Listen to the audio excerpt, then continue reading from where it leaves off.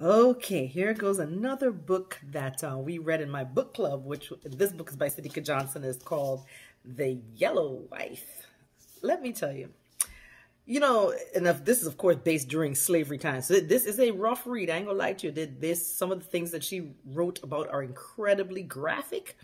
So if you're a little bit feeble in your composition, mm, but at the same time, it's a historically, you know, realistic fish fiction so you you want to check it out it's actually based upon a real place too uh called the devil's half acre and basically what it is, you know how a slave master went around there impregnating a bunch of, uh, of you know, enslaved women. So, of course, they, they have a tendency to come out lighter and lighter and lighter. Not my complexion, but real fair to the point where they almost look white. So, of course, a lot of the slave masters wanted a yellow wife. They know they were black, but they were just, um, they were just so fair. And the thing about it is, so now you could truly control this woman. She looked white. She having a bunch of children for you, and then this woman, this woman, uh, Pheby, Pheby Delores Brown was forced to have, I think, it's six or seven kids by this man.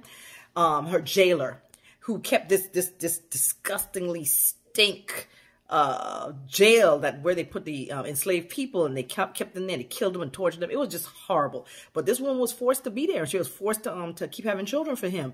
It was you know, it was riveting all the way to the end of the story because you wanted to know what else happened. The, the author had left notes in the back of the book that actually explained that this was a real place.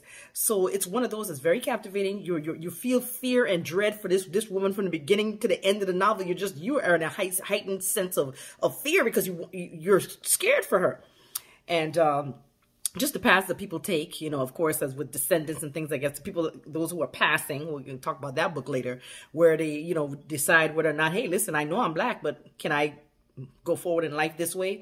So it's just, it's just a, a really, really good book. Um, I really enjoyed it.